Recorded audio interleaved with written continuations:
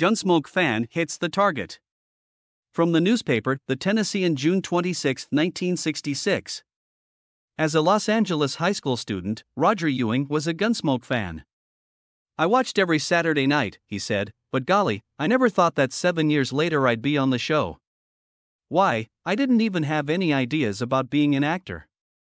22 year old Roger joined the cast of CBS TV's Gunsmoke last season as Thad Greenwood, and the role has been coming on stronger ever since.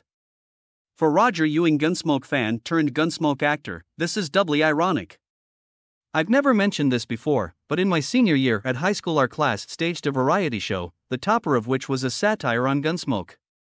The smallest boy in the class was cast as Matt Dillon, and I played Chester. It turned out to be a riot. I was so nervous that I changed legs limping and even dropped the coffee pot.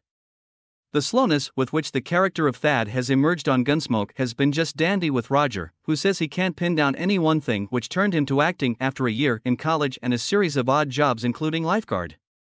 The role, he said, wasn't much at first because I couldn't do too much.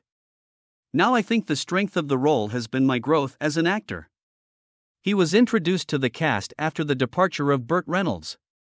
There was a chance of becoming a regular, he was told, but nothing was definite. They left the door open in my first show, Roger laughed. I came to Dodge City from Oklahoma, and the plot had me making a good impression on Matt Dillon. But the dialogue didn't give me much encouragement.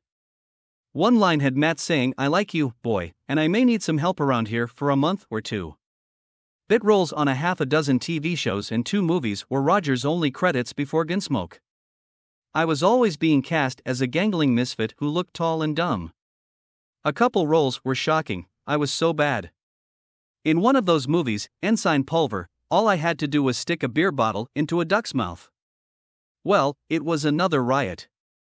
The duck's wings were flapping and my knees were shaking. Now, thanks to Gunsmoke, his knees no longer tremble.